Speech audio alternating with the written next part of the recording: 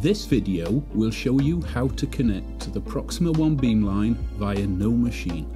Before starting, it's important to set up a proper screen resolution of 2560 by 1440 pixels. It's always possible to test your setup before your session. Don't hesitate to ask your local contact if you wish to do that. Also note that three simultaneous connections are possible during the session via NoMachine. Now you can open NoMachine by double clicking on the icon. Then you can click on OK, click on Add to start a new connection, give a name to your new connection to help you remember if you need to reuse it. The host is remote.synchrotronsoleil.com fr. The port is 4000 and the protocol NX.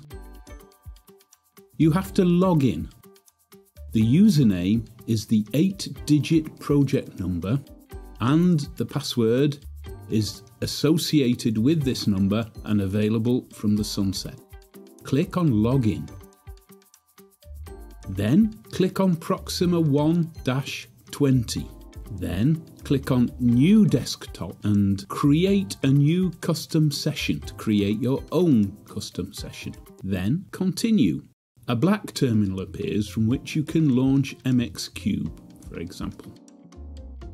To connect to Proxima One via a physical display, giving you direct control of the Beamline computer via its interface, once you have created your new connection, log in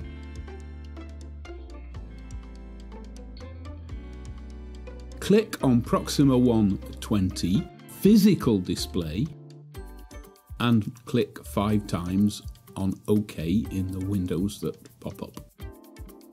All the desktop workspaces are available on the top right of the screen where your local contact should have launched MXCuBE, ADXV, XDSME, etc.